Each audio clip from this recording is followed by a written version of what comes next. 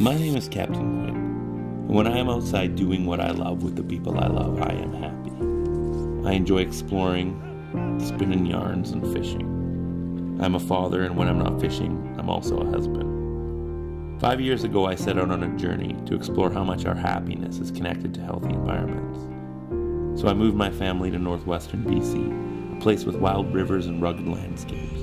My approach was simple venture deep into wild places, interact with people who are living lifestyles that honor their connection to the environment, and of course, chase wild salmon and steelhead with my fly rod.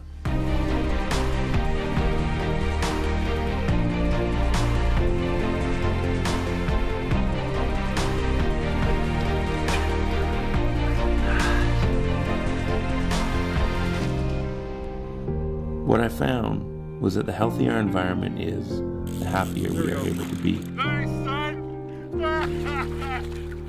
This is Cast Northwest.